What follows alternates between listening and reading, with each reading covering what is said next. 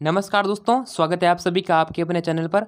दोस्तों, आज आपके लिए लेकर आए हैं राजस्थान बोर्ड कक्षा आठवीं का, जो आपका संस्कृत का पेपर होने वाला है दो बोर्ड एग्ज़ाम के लिए।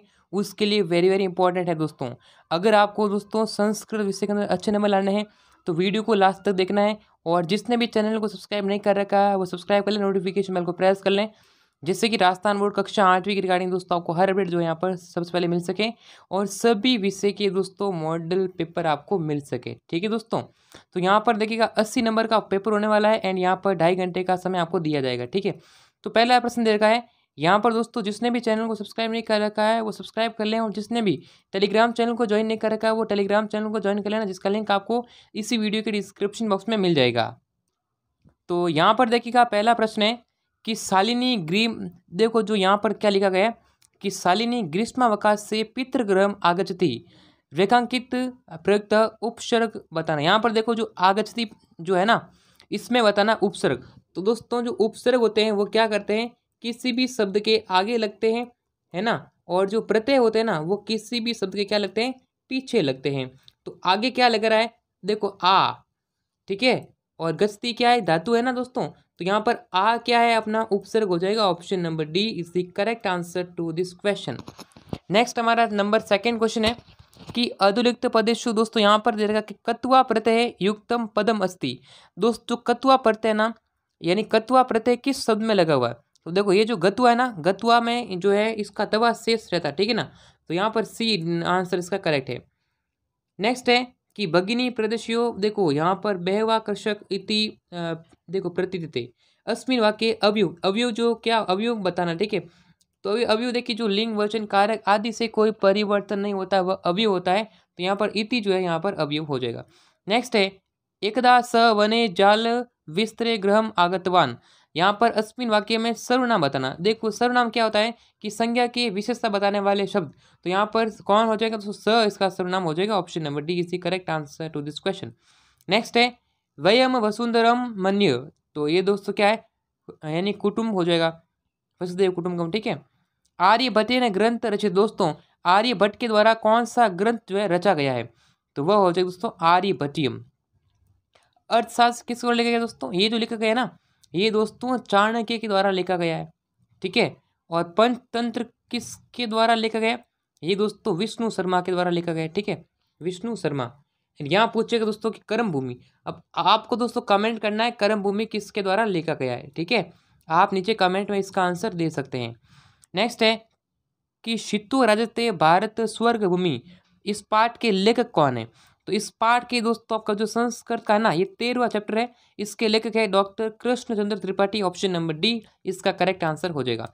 और आर एन स्टडी मसाला से इसकी पीडीएफ मिल जाएगी, ठीक है दोस्तों? आर एन स्टडी मसाला, जिसका लिंक डिस्क्रिप्शन में दे रखा है, वहाँ से आप इसकी पीडीएफ दोस्तों, आसानी से डाउनलोड कर सकते हैं। तो इसके लिए कुछ भी नहीं करना, बस आपको सिंपली गूगल ओपन करना है गूगल पर सर्च करना है आर एन स्टडी मसाला, ठीक है? जिसका लिंक आपको इसी वीडियो के डिस्क्रिप्शन बॉक्स मिल जाएगा। आप simply R N study masala search करेंगे, जैसे इस लिखेंगे दोस्तों, फिर क्या करना नीचे स्क्रॉल करना स्क्रॉल करने के बाद में यहाँ पर आपको मिलेगा बोर्ड एग्ज़ाम दो ठीक है? आरबीसी बोर्ड एग्ज़ाम यहाँ पर देखिएगा RBC class eight model paper दो हज़ार तेईस। एंड यहाँ पर दोस्तों, जो ये दे रखा ना RBC class eight model paper दो हज़ार तेईस, इस लिंक पर क्लिक करेंगे तो आप अपने मॉडल पेपर दोस्तों आसानी से डाउनलोड कर सकते हैं। Simply R N study masala search करना, जिसका लिंक आपको डिस्क्रिप्शन बॉक्स में दे रखा है। नेक्स्ट क्वेश्चन है कि सावित्रीबाई फुले, महोदया देखो माता आसित। उनके जो माता का नाम क्या था दोस्तों? लक्ष्मीबाई जो है, सावित्रीबाई फुले का नाम था। और उनके पिताजी का नाम क्या था दोस्तों? खंडूज इनके पिताजी का नाम था। नेक्स्ट है कि कोष्टक, देखो जो है, यहाँ पर आपको बताया गया जो यहाँ पर जो मजुषा यहाँ सॉरी दे रखा ना ये वाला, इसको फिल करना, ठीक है? जैसे परित वृक्षा संति, दोस्तों, यहाँ पर सब दे रखा परित। तो यहाँ पर देखो जो, यहाँ पर कारक है ना, कारक मतलब जो विभक्ति है ना, विभक्ति से रिलेटेड सवाल दे रखा है। तो दोस्तों, यहाँ पर आप आसानी से कर सकते हैं। इसमें विजालिम आ जाएगा, क्योंकि दोस्तों, जो परित है ना, परित के योग में हम द्वितीय विभूति, सेकेंड विभूति यूज़ करते हैं, और ये देगा सह। सह के साथ दोस्तों, कौन सी विभक्ति है? तो सह के साथ दोस्तों, तृतीय विभूति का यूज़ किया जाता है। तो जन के इसका आंसर हो जाएगा, ठीक है? तो इस प्रकार से आप ऐसे क्वेश्चन कर सकते हैं। ठीक है दोस्तों, यहाँ पर आपको देखिएगा, संधि के कुछ प्रश्न पूछ गए हैं। साथ ही में यहाँ पर विशेषण विशेष के बारे में आपको यहाँ पर बताना, मिलान करना। तो पेपर बहुत ईजी है। ठीक है, आपको मैंने डिस्क्रिप्शन में लिंक दे दिया, जहाँ से पेपर की पीडीएफ आप डाउनलोड कर सकते हैं। टेलीग्राम पर इसका पूरा सॉल्यूशन मिल जाएगा। आप अगर कमेंट करेंगे कि इस पूरे अगर आपको इस पेपर का पूरा सॉल्यूशन यानी कि प्रत्येक प्रश्न के उत्तर चाहिए तो नीचे कमेंट करना। नेक्स्ट वीडियो में आपको इस पेपर का पूरा सॉल्यूशन प्रोवाइड करा दिया जाएगा। ठीक है दोस्तों? यहाँ पर आप देख सकते हैं, बहुत ईजी क्वेश्चन है, ठीक है? जैसे इसका अद्य प्लस अभी क्या हो जाएगा? अद्यपी हो जाएगा, ठीक है दोस्तों? यहाँ पर देखा सह सह का सन्निवेचित करना, ठीक है? तो ये देखिएगा, क्या होता है? सहसा प्लस एव होता है। इस तरह से बहुत सिंपल पेपर है, कोई दिक्कत नहीं। ठीक है दोस्तों, यहाँ पर आपको विशेषण बताने थे। एंड उसके बाद यहाँ पर जो मजुसा आपको फिल करनी है ठीक है? जैसे यहाँ पर आप इनमें से ऑप्शन में से कर सकते हैं, कोई दिक्कत आपको नहीं होने वाली, ठीक है? एंड यहाँ पर देखिएगा मालया ये आपको बताना कि कौन सा जो है विशेषण है और कौन सा जो है विशेष्य है। ठीक है, फिर ये देखेंगे, पद में आपको इसके जो पर्सन निर्माण करना है, ठीक है, जैसे लेखन में तो पीछे म आ रहा है ना तो यहाँ पर किम कर देने इस प्रकार से आप कर सकते हैं, ठीक है। एंड यहाँ पर ये भरना रहेगा आपको, ठीक है, दोनों में से, इन जो, इसमें जो है, तीनों में से एक को करना जैसे यहाँ पर पूर्व दिशा में उदते तो पूर्व दिशा में कौन उगता है? सूर्य उगता है, ठीक है तो यहाँ पर आसन हो जाएगा। ठीक है तो यहाँ पर आपको उत्तर लिखना है, ठीक है। यहाँ पर देखिएगा, उत्तर जो है पूर्ण वाक्य में लिख रहे हैं। कस्मिन उद्योग वृक्षा यानी उपजयंती यहाँ पर लिख रहा है चंचल व्याग्रम कुत्र दृष्टवान। तो सारे क्वेश्चन बहुत ईजी है, कोई दिक्कत नहीं होने ठीक है? यहाँ पर इनका पर्सन निर्माण करके पूरा लिखना है, ठीक है? एक पद ना को उत्तर देना है, चार नंबर के सॉल्व होने वाले चार नंबर। ठीक है? यहाँ पर आपके जो पाठ्य पुस्तक है, कोई भी दो श्लोक यहाँ पर लिखना है, ठीक है? यानी कि एक श्लोक दो दो नंबर का है तो यहाँ पर आपको टोटल दो चार नंबर मिलने वाले ठीक है? श्लोक आपको लिखना है। एंड यहाँ पर जो है, क को जो है आपको ख से मिलान करना है। खंड क को खंड ख से मिलान करेंगे। ठीक है दोस्तों? एंड यहाँ पर दोस्तों जो चित्र दे रखा है ना, उस चित्र पर आपको वाक्य लिखने हैं। ठीक है, यहाँ पर आपको चार वाक्य लिखने हैं। इस चार वाक्य की रचना करनी है। जैसे देखिएगा, ये आपको हवाई जहाज़ का दे रखा है, ये कुछ सैटेलाइट वगैरह दे रखा है तो उसका आप एग्ज़ाम्पल दे। जो अंतरिक्ष वगैरह है, इनका यहाँ पर चित्र दे रखा है। जिस तोपों का वगैरह है ये यहाँ पर। आप जो तोप होते हैं ना, उसके बारे में यहाँ पर सब कुछ दे रखा है। अस्मिने वाले सवाल आप पढ़ सकते हैं।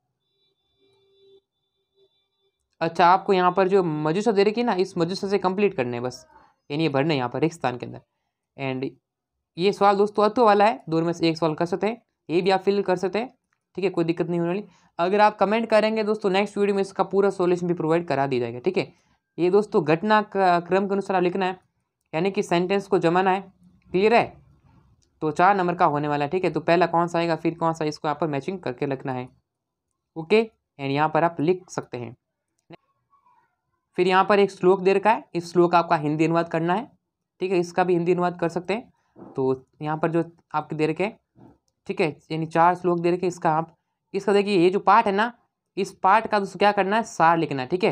जैसे यानी कंत के नेव कंठम यथा बिलिशी वाणी ना कदापि श्रुता ठीक है, इसमें कथा कथा का सार लिखना हिंदी भाषा में, ठीक है?